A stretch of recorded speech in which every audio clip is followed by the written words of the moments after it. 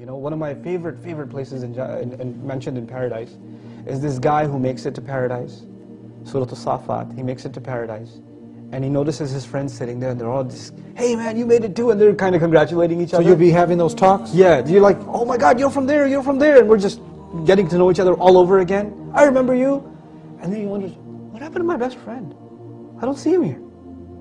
So he, from way back in the day, back in this world, he remembers his one friend missing from this group. And he goes, would you like to know what happened to him? And nobody else volunteers. But he wishes to see his old friend. So imagine this, in Jannah, Allah opens a window so he can see his friend in hell. Okay, so this is a scene described in the 37th surah. So he looks the guy burning in hellfire, his best friend. You get to see this now. You see, you get to see this from Jannah, because in Jannah you get anything you want, right? So he wanted to see his friend. Wish granted You get a view into hellfire and you see your friend burning there. And he says, لَقَدْ كِتَّ تُرْدِينَ You almost made me fall off the cliff too, man. He looks at his friend, doesn't say, you okay, can I pull you out? He doesn't say that. He said, man, you almost took me to the party with you.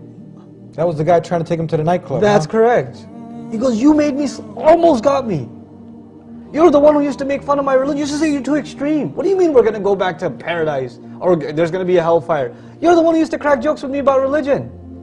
You're that, you're that guy. And then, now imagine this guy who's in Jannah looking at this and saying, oh thank God I didn't listen to you. Because for a second there I was thinking about it. Right? So he, now the window's closed. But this guy has just seen hellfire. Do you think he's shocked and horrified? He would be. Even though he's in Jannah, he just saw hellfire. So he comes back into Jannah and it's like he just got here for the first time. The words in the Quran are amazing. Are we not going to die anymore? Really? But wait, you, you already knew that. He's in Jannah. But when he saw a glimpse of hellfire, the most beautiful thing he could appreciate about Jannah, first and foremost, like it's a re reintroduction to Jannah, what's the first thing he says? We're not going to die anymore. Except that first death we already tasted. You know? And that's, then the second thing he appreciates, I want you to imagine what this is.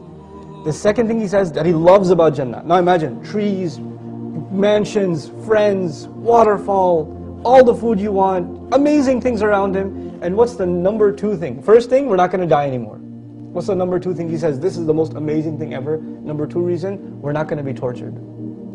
There's no more pain. That's the second thing he appreciates. Why? Because he just saw what pain looks like. سبحان الله.